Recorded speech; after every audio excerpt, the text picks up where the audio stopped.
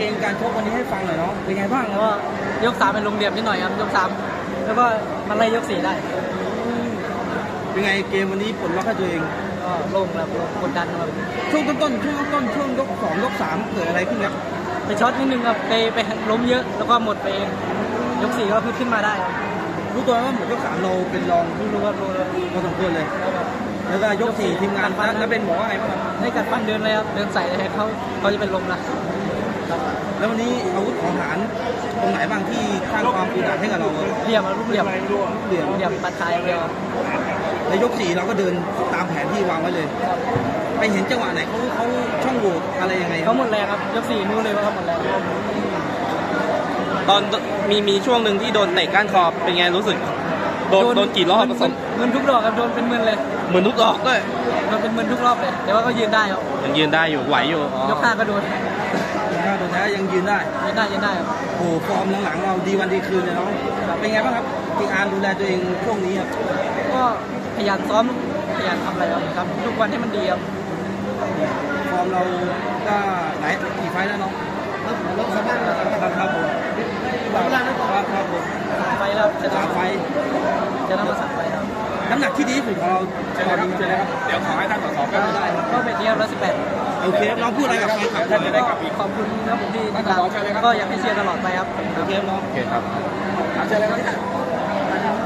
พร้อมครับพี่เป็นครับครับผมเป็นไปมายังไงทำไมถึงได้มาจัดมวยครับ ก็คืออย่างนี้นะเอ่อ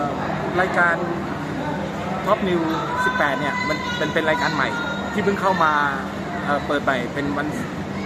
ตกเย็นวันเสาร์นะครับ ซึ่งซึ่งจริง ๆ แล้วเวลาเนี่ยถามว่าเวลามันดีไหม มันก็ก้ากึ่งนะบางทีแฟนมวยจากอ้อมน้อยมาแล้วมารอบสามโมงเย็นเนี่ยค่อนข้างจะเหนื่อยนะครับ แล้วก็บางแฟนมวยบางส่วนก็อยากจะไปพักผ่อน แล้วช่วงหลังก็เข้าเอ๋ก็คุยกันปรึกษากันทีมงานก็บอกว่า ผมก็เลยอาสาเลย บอกว่าเออ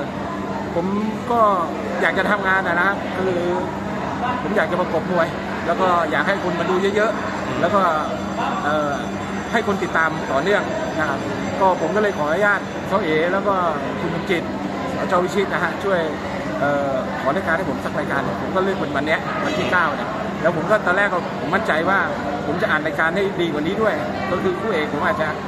เอ่อเอามวยที่เอ่อมีชื่อมากกว่านี้ คืออาจจะเอาไผ่แดงอะไรพวกนั้นนะแล้วก็แค่คุมโลกับหาเนี่ยผมวางไว้แล้ว ผมว่าจะเป็นผู้รอง แล้วก็บังเอิญเนี่ยมวยที่เราตั้งไว้มันไม่พอผมก็เลยต้องขยับมาเป็นเป็นเอาถึงโลกหารมาเป็นคู่เอกก็ถือว่าผมก็โชคดีวันนี้ว่าเด็กก็โชคกันดีนะครับแล้วก็ต่อยสนุกมวยแพ้ชนะ ผมไม่ซีเรียสครับ ก็คืออยากให้เด็กมันต่อยออกผลงานออกมาให้ดีเท่านั้น ไม่ว่าฝ่ายตรงข้ามหรือว่าฝ่ายผม ก็ทุกคนเนี่ยพยายามทำหน้าที่ดีที่สุด แค่นี้ผมก็พอใจแล้วอยากให้คุณแฟนมวยดูมวยที่สนุกและก็สูสีนะครับ ก็ขอขอบคุณทางคุณชุนเกตเพชรแล้วก็น้องเดียที่มอบหารมาให้ชกกับคุมโลวันนี้ แล้วก็น้าไหมายนะครับ แล้วก็น้าแดงของทรายพิสิทธิ์ปากพนังเอาบูโน่กับเพชรมรกตมาชกผู้ประกอบวันนี้ก็ขอขอบคุณมากครับแค่นี้ก็ผมดีใจที่สุดแล้วครับ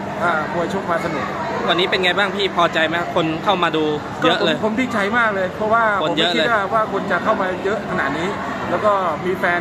มวยที่ทางบ้านเนี่ยติดตาม ผมก็พยายามจะสร้าง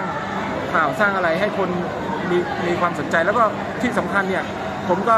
ดึงพี่ชายซึ่งเป็นสสอยู่ชัยภูมิมามอบรางวัลดูเดือนแล้วก็แล้วก็มีรางวัลพิเศษให้ทั้งมวยมากมาย แล้วก็มีพักพวกทีมงานที่